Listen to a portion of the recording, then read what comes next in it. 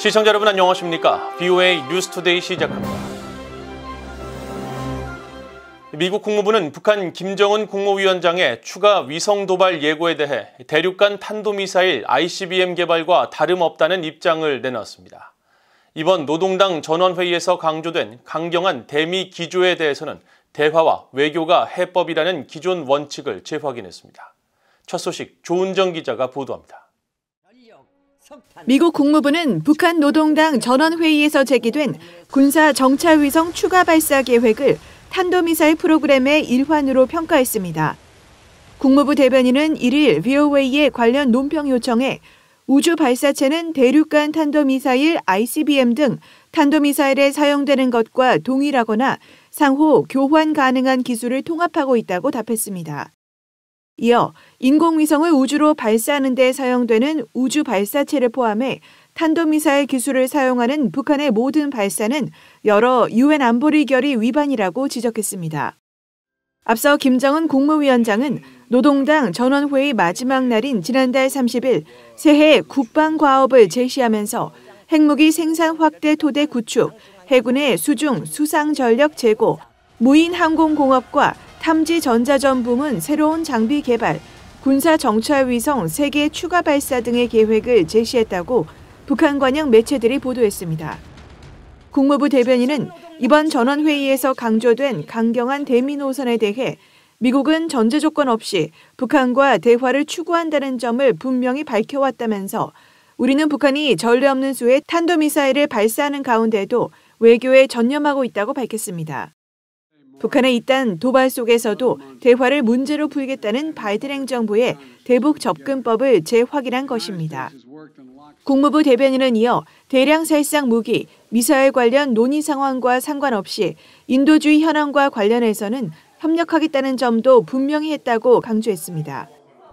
또 우리는 북한과 관여하고 침략을 억제하며 북한의 다수 유엔 안보리 결의 위반에 대한 국제적 대응을 조율하는 최상의 방안에 관해 한국, 일본을 비롯한 기타 동맹 및 파트너들과 긴밀히 협의하고 있다고 설명했습니다.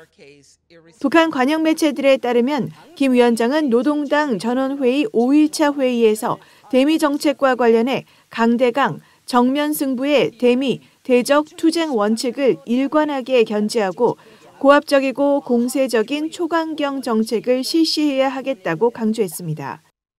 또 미국과 한국이 만약 군사적 대결을 기도하려 든다면 우리의 핵전쟁 억제력은 주저없이 중대한 행동으로 넘어갈 것이라고 위협했습니다. BOA 뉴스 조은정입니다. 북한 김정은 국무위원장이 최근 노동당 전원회의에서 북한이 한국보다 국격과 지위에서 우위에 있다는 의미의 발언을 한 것은 국제 현실과는 괴리가 크다는 지적이 나옵니다. 오히려 한국은 세계 10위권의 경제국 등 글로벌 중추국가로 발돋움하는 반면에 북한은 주민들에게 기본적인 전기와 식량조차 제대로 공급하지 못하는 빈곤국에서 벗어나지 못하고 있습니다. 김영권 기자가 보도합니다.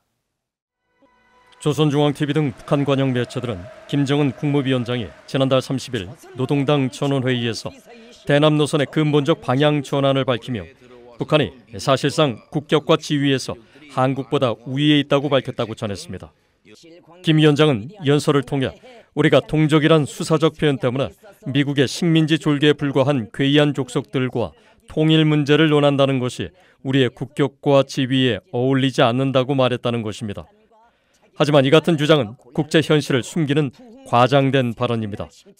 실제로 김 위원장의 발언이 있던 날 세계 최고 부호인 일론 머스크, 테슬라 최고 경영자는 인터넷 사회 관계망 서비스인 X에 불빛이 환한 한국과 칠흑 같은 어둠뿐인 북한을 대조적으로 보여주는 한반도의 야간 위성 사진을 올렸습니다.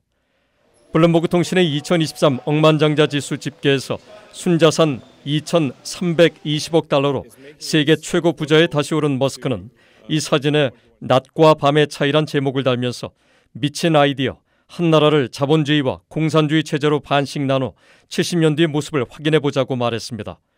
한국전쟁 정전협정 체결 후 70년 동안 달라진 남북한의 현실을 지적한 것입니다. 이런 한국과 북한의 달라진 국제 위상은 여러 국제 통계로도 쉽게 확인됩니다. 국제에너지기구 IEA와 세계은행 등 다섯 개 국제기구의 공동보고서에 따르면 북한은 2017년 기준 인구의 44%만이 전기를 공급받지만 한국은 인구 100%가 전기를 24시간 사용하고 있습니다. 한국통계청이 지난달 발표한 2023 남북 주요 통계 지표에서도 북한의 발전 전력량은 2022년 기준 264억 킬로와트 시로 5,944억 킬로와트 시인 한국과 22.5배의 격차를 보였습니다. 유엔은 또 지난해 발표한 연례 2023 세계 식량 안보와 영양 실태 보고서에서 북한의 2020-2022년 사이 영양 부족 인구는 1,180만 명으로 2004년에서 2006년 기간 기록된 830만 명보다 350만 명이 증가했다고 발표했습니다. 김 위원장은 과거 연설을 통해 주민들의 식량난 등 경제 문제를 해결하겠다고 했지만 오히려 민생은 더 악화된 것입니다. 우리 인민이 다시는 허리띠를 조이지 않게 하며 사회주의 부귀영화를 마음껏 누리게 하자는 것이 우리 당의 확고한 결심입니다. 한국통계청의 2023 남북 주요 통계 지표를 보면 북한의 명목 국민 총소득 GNI는 한국의 60분의 1, 1인당 국민 총소득 GNI도 30분의 1에 불과합니다. 무역 총액 역시 2022년 기준 북한은 15.9억 달러로 1조 4,150억 달러를 기록한 한국과 무려 890배의 격차를 보였는데 이 같은 한국의 높아진 국제 위상은 조 바이든 대통령 등 국제 지도자들의 발언을 통해서도 확인할 수 있습니다. The way the Korean people have transformed your country, Mr. President, through courage and hard work, is one of the most prosperous, as one of the most prosperous and respected nations in the world, is testament to the boundless possibilities our people can achieve when we do it together. 그 밖에 한국은 K-팝, K-드라마 등 한류 문화에서도 세계적으로 관심을 받는 등 글로벌 중추 국가로 발돋움하고 있지만 북한은 세계 최악의 인권 탄압국 중 하나로 매년 유엔 무대에서 결의안 채택 등으로 지탄을 받고 있습니다. 귀의 뉴스 김영권입니다. 한국 정부는 북한이 노동당 전원회의 보도를 통해 지속적인 핵과 미사일 고도화 및 대남 노선의 근본적 전환 등 대외적으로 적대적 입장을 표한 데 대해 강력히 규탄했습니다. 한국 외교부는 지난 31일 북한 발표에 대한 입장을 통해 북한이 당 중앙위 전원회의를 통해 동족을 교전국 관계로 규정하며 전쟁과 한국 점령을 위협하고 핵과 미사일 능력 고도화에 계속 매진하겠다고 밝힌 것을 강력히 규탄한다고 밝혔다고 연합뉴스 등 한국 언론들이 보도했습니다.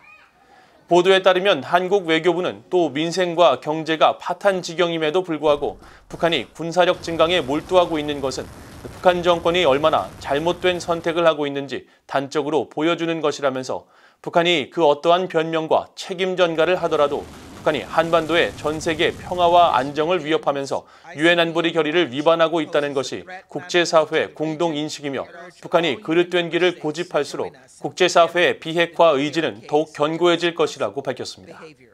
한국 통일부 당국자도 이날 북한 발표에 대해 정부는 강력한 한미 동맹을 기반으로 북한의 위협을 압도적으로 억제하고 원칙에 입각한 남북 관계 정상화를 일관되게 추진해 나갈 것이라고 밝혔습니다. 이어 북한이 핵 미사일 개발과 인권 탄압을 중단하고 비핵화와 민생 개선의 길로 나올 수 있도록 국제사회와의 공조를 한층 강화해 나갈 것이라고 강조했습니다. 앞서 북한 김정은 국무위원장은 전원회의에서 남북 관계를 적대적이고 교전 중인 두 국가 관계로 규정하고 대남 노선의 근본적 방향 전환을 선언했으며 북한은 내년에도 핵무기 생산을 지속적으로 확대할 토대를 구축해 나가겠다고 강조했다고 북한 관영 매체들이 전했습니다.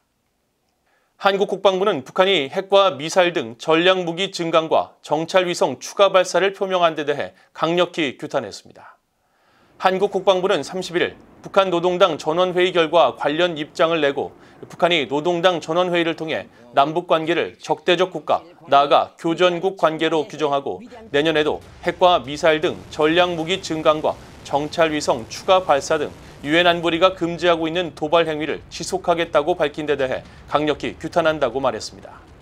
이어 국방부는 북한은 핵과 미사일 개발에 따른 주민들의 고통과 어려움을 외면한 채 남북관계 파탄과 한반도 정세의 악화라는 책임을 적반하장으로 우리 측에 전가하고 있으며 이번 북한의 발표는 권력 세습과 체제의 유지만을 위해 모든 것을 희생하는 세습 독재 국가의 속성을 일관되게 보여준 것이라고 비판했습니다. 그러면서 북한은 이제라도 국제사회가 한 목소리로 반대하는 핵 개발을 즉각 멈추고 비핵화의 길로 복귀해야 하며 이것만이 북한 주민의 삶을 개선하고 국제사회의 일원이 될 수 있는 유일한 길이라고 지적했습니다. 또 북한의 도발에 단호히 대응하고 만약 북한이 핵 사용을 기도한다면 획기적으로 강화된 한미동맹의 확장 억제력과 삼축 체계를 활용해 압도적으로 응징할 것이며 김정은 정권은 종말을 맞이할 것임을 엄중히 경고한다고 밝혔습니다. 팔레스타인 무장정파 하마스가 북한 유탄 발사기인 F-7 로켓 추진체를 분리해 자신들의 대전차 로켓에 장착한 것으로 확인된 가운데 이스라엘 방위군은 민간인에 대한 살상력을 높이는 하마스의 무기 개발에 어떤 도움도 줘서는 안 된다고 밝혔습니다. 이스라엘 방위군의 이단 샤론 캐틀러 적 무기 수거 부대 부사령관은 최근 VOA와의 인터뷰에서 하마스가 사용 중인 북한 무기가 수만 개에 이른다면서 이같이 밝혔습니다. 샤론 캐틀러 부사령관은 이어 현재 군사작전이 계속되고 있는 상황에서도 가자 지구에서는 그런 종류의 무기가 계속 발견되고 있다며 하마스는 북한 유탄 발사기 F-7을 해체해 추진체를 분리한 뒤 이 추진체를 대전차 로켓에 장착하고 있다고 지적했습니다. 한편 가자 지구에서 전투 중인 이스라엘군 특수부대원 샤이르 상사는 BOA에 이스라엘군 방위군이 북한 무기를 발견했으며 북한이 하마스에 무기를 제공한 것이라면 이것은 테러를 지원하고 우리에 대해서도 공격을 하고 있는 것이라고 비판했습니다. 핵과 미사일 개발에 집중하며 국제사회의 제재를 받고 있는 북한에 대해 스위스가 올해 외국 정부 중에서는 처음으로 북한에 104만 8천 달러 상당의 영양 지원을 약속했습니다. 1일 유엔 인도주의 업무조정국 웹사이트에 따르면 스위스 정부는 올해 유엔 아동기금 유니세프의 대북 지원 활동에 104만 8천 달러 규모의 자금을 제공할 계획입니다. 한편 지난해 국제사회의 대북 인도주의 지원은 역대 최저인 152만 6천여 달러였는데 이 같은 수치는 지난 2012년 1억 1,779만 달러의 1.3%에 불과한 것입니다. 국제사회의 대북 인도적 지원 금액은 북한이 2020년 국경을 봉쇄한 이후 계속 감소해 2020년 4,188만 달러, 2021년 1,378만 달러, 2022년 233만 달러로 줄었으며 지난해에는 스위스와 노르웨이, 유니세프 홍콩위원회만 대북 지원에 나섰습니다. 이상으로 VOA 뉴스투데이를 모두 마칩니다. 시청해주신 여러분 고맙습니다.